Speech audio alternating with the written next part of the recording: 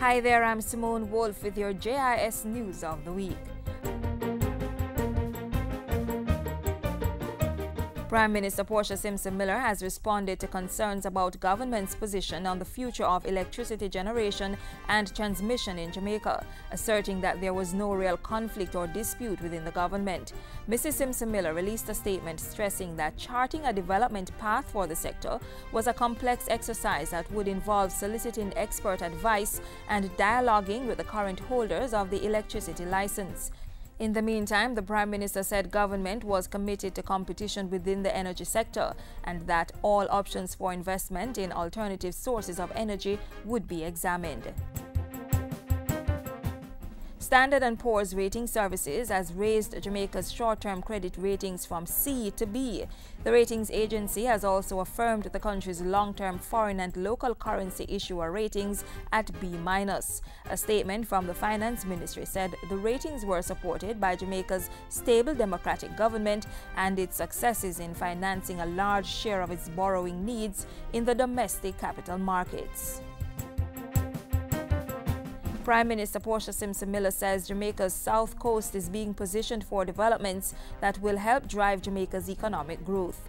The Prime Minister, who was speaking at the recent contract signing for the $497 million South Coast Roadworks project, said it was time to focus on what she called the country's sleeping giant. This major road rehabilitation project, it will significantly improve the movement of goods and people as well as increased road safety and reduced travel time.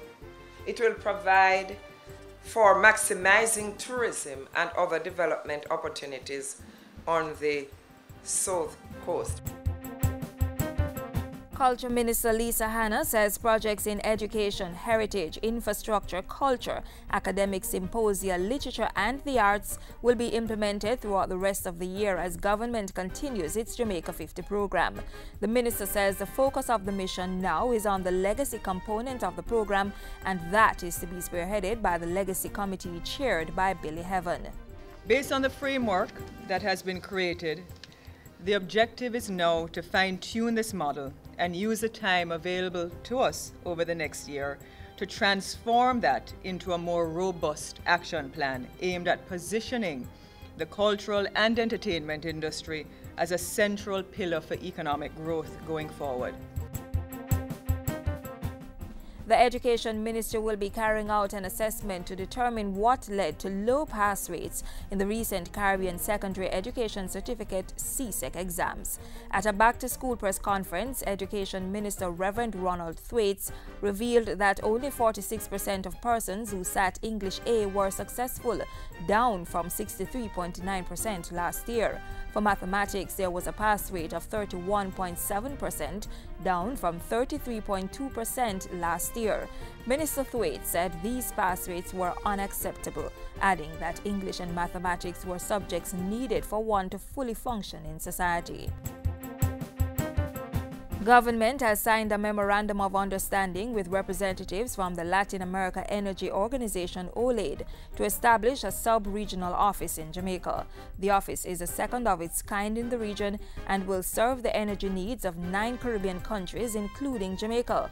Energy Minister Phillip Paulwell says the MOU is a clear demonstration that the government is committed to finding the right energy solutions for its citizens. The opening of this sub-regional office presents the Caribbean with additional technical expertise that will be integral to our development and will help to meet our development goals, particularly within the areas of energy security and efficiency. And finally, government has officially launched the teachings of Garveyism in the new civics program for Jamaican schools. Speaking at another function, Culture Minister Lisa Hanna hailed the move, saying it was a progressive step long overdue. Having experienced the overwhelming impact of colonial education on the psyche of the masses, he was determined to counter his negative and this negative by promoting what he called particular education through which people could be educated to all elements of their race and culture in order for them to assume their role and responsibility in the proper advancement of their society and their race. The minister was speaking at a wreath-laying ceremony at National Heroes Park to commemorate the 125th anniversary of the birth of Marcus Garvey. Political, academic and civic leaders were joined at the ceremony by Dr. Julius Garvey, the son of Jamaica's first national hero. And those were some of the stories making news this week. I'm Simone Wolf.